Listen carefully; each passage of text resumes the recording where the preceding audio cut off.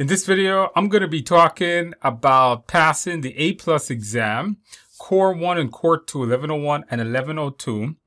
Uh, in this video, I'm also going to be giving you a whole bunch of exam tips for each of the exam in this video.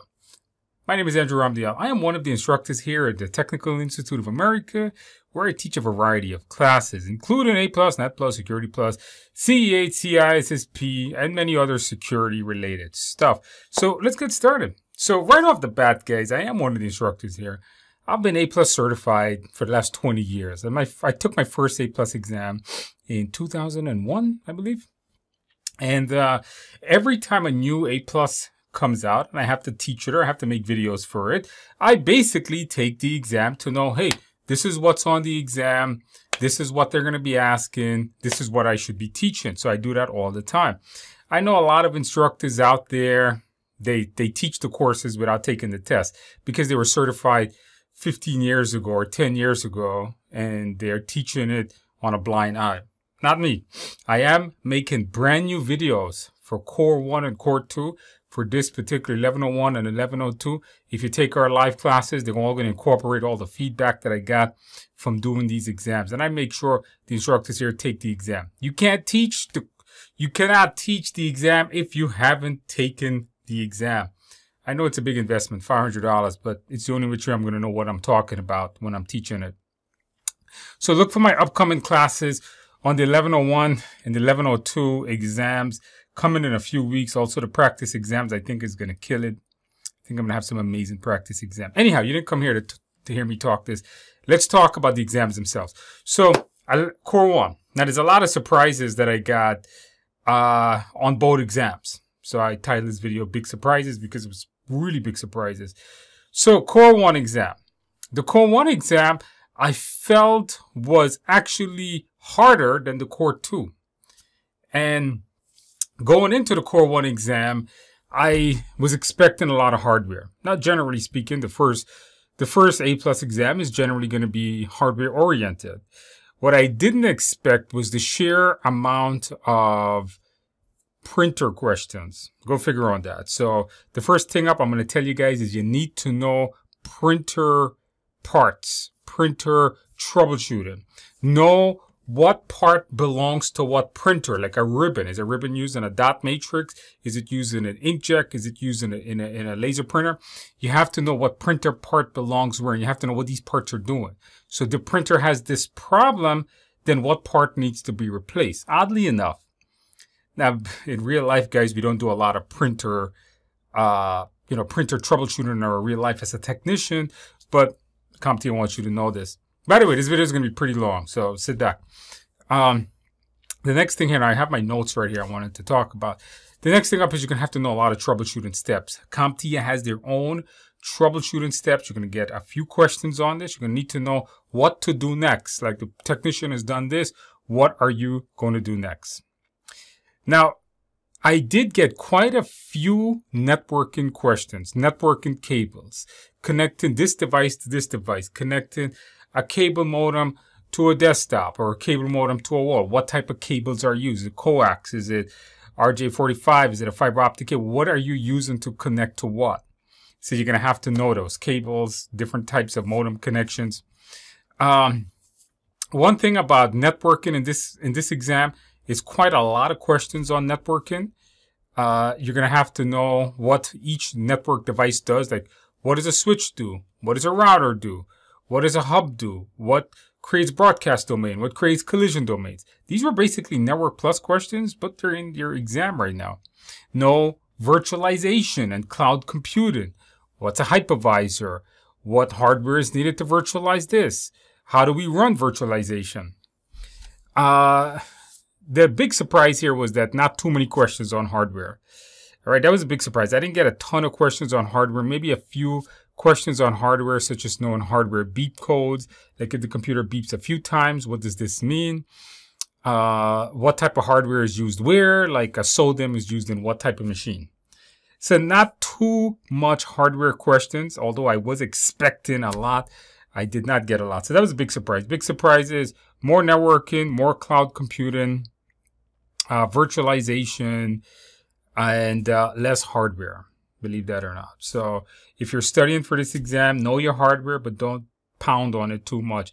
I prefer for you to spend more time learning networking, more time learning cloud computing definitions, and virtualization seems to be a lot. And of course, those troubleshooting steps. You know what else I was thinking about? It seems like every other question was a printer question.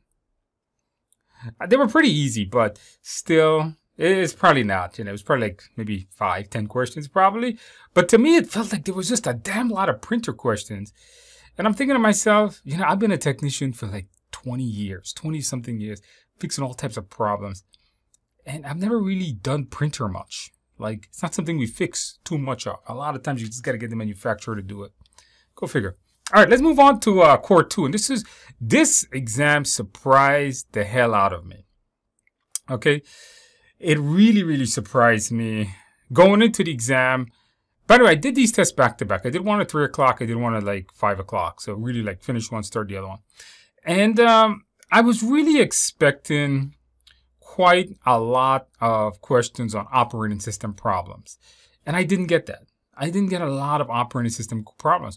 What I ended up getting, believe it or not, is a bunch of security. At one point, I didn't know whether I was taking security plus or I was taking A plus. Like I, there were two points in the exam. I looked up and I said to myself, this is a CISSP question. This is a question that belongs on my, I teach this in CISSP, which is the granddaddy gold standards of IT security certification. And I, I, I didn't know what I, wait a minute, did I make a mistake? Am I taking security plus here for a second? Just a tons of security questions. So with that in mind, you're going to have to know things, uh, know things such as the basics of cryptography, like what's a hash, what's a, what's a symmetric key. Know things such as characteristics of infections, ransomware, crypt, uh, crypto mining, uh, worm, Trojans. Know the characteristics. Like if the machine is having this problem, oh, that's a ransomware. And how do you solve those things, right? How do, what are the steps to removing malware from a computer? It seems like a lot of questions on that. A variety of different security controls, like how do you, what are physical controls used to secure data center, I think. Um, know remote, uh, access technology is going to go into a little bit of networking, know how to remotely access different types of machines. Um, and then comes the networking. So not a ton of networking. But in both exams, you needed to know wireless. You need to know wireless configurations inside out. You have to know how to configure a device to join a certain network. Now, we do cover this in the course. I do this with you. I show it to you on Windows. We'll talk about it on variety of tablets and phones. You'll need to know all that. You really need to know wireless configurations. It seems to be a lot of questions on that. Um, when it comes to networking, also, of course, you got to know your port numbers. CompTIA will always give you one of those. Uh, whether it's known SMTP, FTP, SSL, IMAP, uh, uh, time protocols, and so on. You're going to have to know your port numbers. Uh, when it came to operating systems, I think knowing your commands, I was expecting a lot of questions of commands, but I didn't get a lot. Know commands, know basic commands in Linux, did get a question on that. I'm not going to tell you what the command is. Isn't that CompTIA? It'll probably crucify me. Um, know com basic commands in Windows. Like if Windows boots up and there's like a problem somewhere, you see you see this error. Like okay, this is a command I can use to fix this. That you'll need to know. No different versions of Windows. So this version of Windows has these features. This version of Windows, like Windows Home has this, Pro does it, uh, Pro has this, but Home doesn't have this. That you'll need to know. Uh, you also need to know, of course, security uh, troubleshooting steps here also. There may ask a question on that. Okay. Did I get everything here? Uh, yes, I think I got all my notes in here. Okay, so those were the main topics that I want you to know for your exam. Now, if you're studying for this exam and you want some tips right now, uh, my best tip that I've always given students studying for their A plus exam has always been to use a lot of hands-on training do a lot of labs. Now, if you note in my courses right now, if you do my, if you do my um, 1000 series exams, you'll notice that I do, it's mostly a lab class. I showed you everything in labs. I do everything where I show you how to install Windows, how to install virtualization. I actually show you how to use cloud computing and so on. And that's what you guys should be doing. The more labs you guys do, the more practice you guys do, the easier this exam will become. The more you know it well. And because of that, uh, because of the labs you're doing, when you see the questions, you'll be able to answer them quickly. Now, I was able to finish both exams in about 30 minutes each, uh, even though they give you, I think, 90 minutes, something like that. I breezed through the exam pretty quickly. Yes, I did pass both of them, if you're wondering. So, do a lot of labs. Review back this video, see the things I'm talking about, go through the exam objectives, and make sure you know the terms that are listed there. Now, if you're wondering, man, this guy just gave away the whole exam. No, I didn't give you anything specific. I didn't give you the questions. I gave you some topics that I saw, but there's not, none of the topics that I told you is out of the exam objectives. They come right out of the exam. This is what I saw. When you take this exam, it might be different. You might see different things. Uh, so everybody exam will be different. This is the beginning of this brand new exam. It'll be around, it'll be around for about three years. And of course, the exam will change over time. So if you're watching this videos two, if you're watching this video two years from now, you know, it might, it might be different. Uh, but the idea here is a lot of, do a lot of hands-on training. Now, with that in mind, guys, look for my course. When the courses come out, I'll put the links in the description below. If you're interested, check it. Out. If you want to join our live classes and ace your exam on the first try, we welcome that. If not, check the link below for our uh, actual video-based courses on this. And of course, I'm making some really good practice exams that's really going to mimic the real test. Not, it's never going to be like the real test. It's, I can't remember the questions word for word anymore. It's all like a vague memory. I did take some notes when I was finished the exam. That's where I got my notes here from. Uh, but you know, hopefully our our exams will help you to pass your actual A plus exam.